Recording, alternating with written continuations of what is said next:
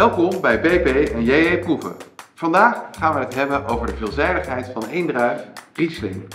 Een van mijn persoonlijke favorieten, bij het grote publiek soms nog wat ondergewaardeerd, maar ik denk dat dit een kans is om heel Nederland aan de Riesling te krijgen. Uh, dan ja, wat maakt Riesling nou zo bijzonder? Nou, uh, PP, Riesling is zo bijzonder omdat het een druif is die hoog in de zuur is. Uh, daarom kennen we heel veel Rieslings die dus dat hele kleine beetje restzoet hebben. Dat is om dat zuurgehalte in de wijn een beetje te verdoezelen.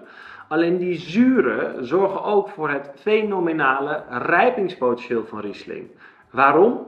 Hoe hoger de zuren, hoe meer die zuren door de loop der jaren afgebouwd kunnen worden. En dat houdt in dat sommige Rieslings met gemak tussen de 40 en 80 jaar kunnen ouderen. Vertel, wat hebben we in het glas? Ja, we beginnen nu met Nederlandse Riesling van de Apostelhoeve.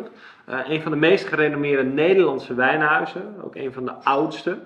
Um, en het leuke van deze Riesling is, is ontzettend fris. Hij zit nog wel heel hoog in zijn zuren. Mm -hmm. uh, niet vervelend, want dat tropische komt er wel echt mooi in terug uh, nog steeds. Maar dit is wel een wijn die, ja, die kan nog prima een paar jaar hier achter ons liggen. De tweede.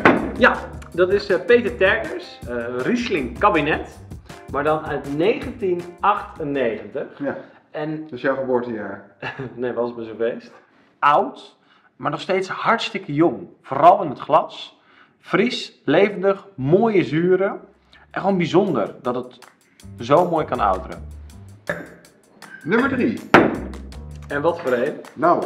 We gaan nu naar uh, Molitor. En dit is Riesling Oude Stempel. Wat houdt dat in? Uh, Riesling die dat hele kleine beetje zoet nog heeft in de afdronk, om die zuren te verdoezelen. Heel veel rijkdom, heel geconcentreerd. Het is echt strogeel, hè? Prachtige kleur. Ja, nummer 4 is wel echt heel erg speciaal. Uh, het heeft niet alleen met de klimaatopwarming te maken tegenwoordig, maar het is een ijswijn gemaakt van Riesling uit 1998. Het mooie van de ijswijn is, is dat hij slechts 7% alcohol heeft. Ja. En dat heeft dus met het suikergehalte te maken, omdat um, het sap zo hoog in de suiker zit, kan een ja. wijn op een gegeven moment niet verder vergisten en blijft hij ook een beetje steken, zo rond die 7%. Ja. Proost.